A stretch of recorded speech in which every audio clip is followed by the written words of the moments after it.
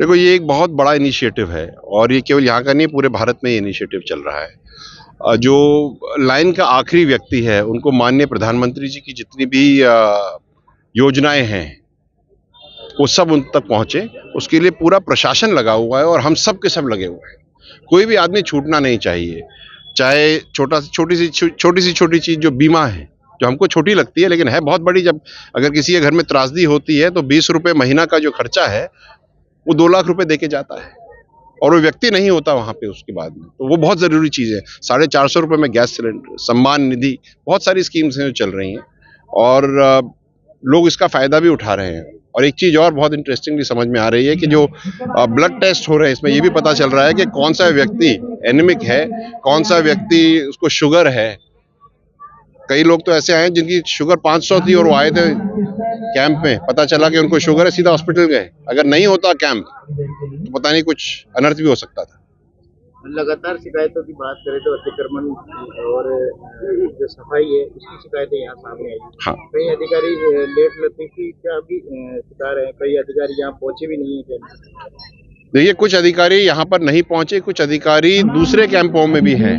और रही बात आपकी जो अतिक्रमण की है तो दूनी में भी एक किस्सा हुआ था अतिक्रमण का तो मैंने अभी उन्हीं से बात करी थी नायब तहसीलदार मिले थे मुझे। और तीन तारीख को उन्होंने एक रिपोर्ट आ, करी थी कोई यहाँ पर कोई अतिक्रमण है रोड के ऊपर नालियों वालियों के ऊपर और बारह तारीख को उन्होंने चिट्ठी दी है। तो तीन तारीख से बारह तारीख में जो जो गैप रहा वो गैप क्यों रहा ये समझने वाली बात है।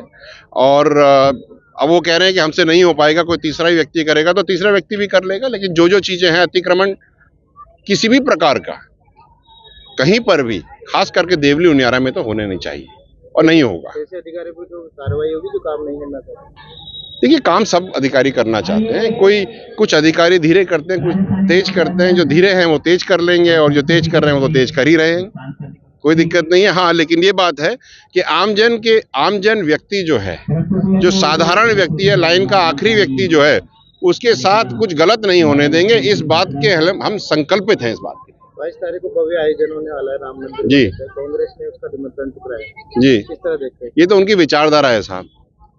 जिसकी जैसी सोच वैसे उसके कर्म। इसके बारे में तो जितना कम बोला जाए ना उतना अच्छा है। लोकसभा चुनाव भी नज़दीक है। आपकी सतर्कता विरोधियों की धड़कने बढ़ा रही पता नहीं ऐसे क्यों बात है। भाई कोई व्यक्ति जीतता है कोई व्यक्ति नहीं जीतता। लेकिन पाँच साल तो काम करेगा। मैं इलेक्शन इलेक्शन वोटिंग से पहले भी कह के गया था कि मैं यहीं रहूँगा।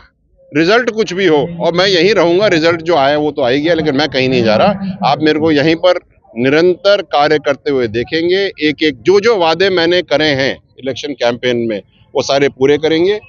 पिछले एक महीने से पीने का पानी का सबसे मेरा पहला वादा था, और जल जीवन मिशन के अधिकारियों को लेकर के मैं गाँव गाँव ढाणी ढाणी जाकर के ये देख रहा हूँ कि पाइप कहाँ लगे हैं।